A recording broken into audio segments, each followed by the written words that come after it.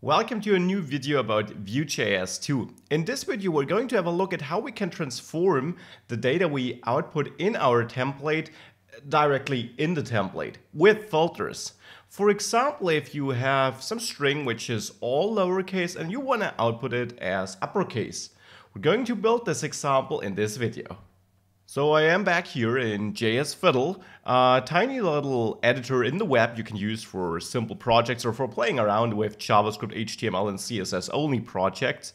And all I did here is set up a basic Vue.js 2 setup where I import Vue.js here from the CDN and then my app div here, which I take control over with my Vue instance down there. And then I got a title, but oh, the title is all lowercase. Now, what if I wanted to output it uppercase? Well, option number one, we already learned about computed properties if you followed all the Vue videos on this channel. I do have one about computed properties there.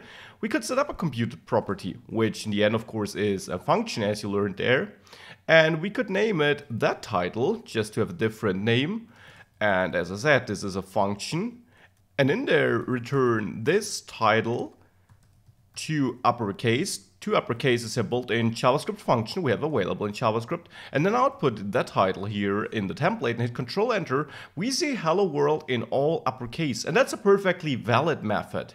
This is using a computed property and taking advantage of the fact that Vue.js will automatically recalculate this whenever we change the title.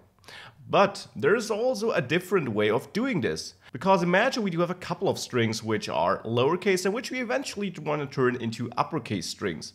Well, the problem we do have with this solution is that we would have to create a computed property for each our data field we want to transform.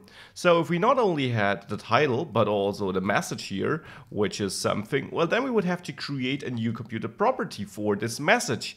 And that quickly is not something you want to do. So instead, we can use a filter. Filters are simply little helpers you can use in Vue.js and you would have to create this on your own because there is no built-in filter. There's only the capability to build your own filters. Now how do you build a filter? Well, you do it by accessing the global Vue object, the one we're instantiating here. You don't have to instantiate it. It also has some static functions, if you will. And there we can access filter.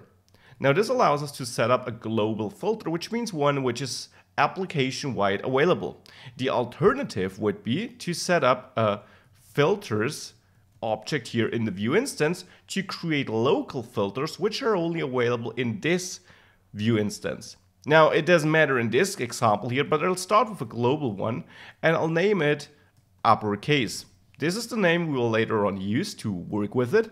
And this method then also takes a second function, or argument I should say, which is a function, this function will be executed by Vue.js whenever this filter is applied to something, and we will apply it in a second. This function will automatically receive one input, one argument, and that's the value. Vue.js will pass this value to this function automatically, and this of course will be the value on which we apply this filter later on. So in here, what we then have to do is we have to return the filtered, which means transformed value. And there I could therefore simply return value to uppercase, the same as down there in the computed property, but now in this filter. Now what's the idea behind this filter? What's the advantage? Well, since we created it here, gave it a name of uppercase, I can go into my template and pick the original title here and simply add the filter by adding a pipe symbol and then the name of the filter, uppercase, the name we picked here, without the quotation marks though. If I now hit Control Enter again, well we see the same result, but now not using the computed property, but instead the filter. Now, only to highlight this in the local setup here, we can also add filters here by adding them with the name first. So if we want to create a lowercase filter, we would give this property a name of lowercase. And that would also be a function which gets the value, just like in the filter above, which we defined globally. And there we could then return value to lowercase, another built-in JavaScript function. Now what this allows me is to even chain this to the other filter by adding another pipe, and now lowercase, referring to that filter we registered here locally, which is therefore only available in this instance. And now if I hit Control Enter, well, it's lowercase, because what happens here is we're chaining filters, which means we're first executing the uppercase filter on title, and then we're executing lowercase filter on the result of uppercase on title, so on this part. And this gives us this newly filtered value. And the great advantage of filters, of course, is that we can now apply this to any value we want to output. So also to the message, which I could now also transform to uppercase like this. Hit Control Enter, and here it is, something.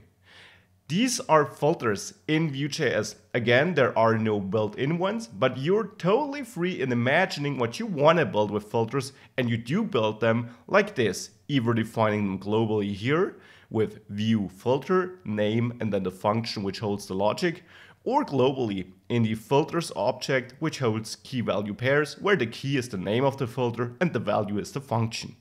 One important note though, you always want to use a computed property if you can. Now here it's clearly impractical because we might have multiple messages or strings we want to transform. But if it is less impractical, use a computed property because computed properties offer you better performance because Vue.js is able to analyze on what this computed property depends and when it therefore needs to recalculate it.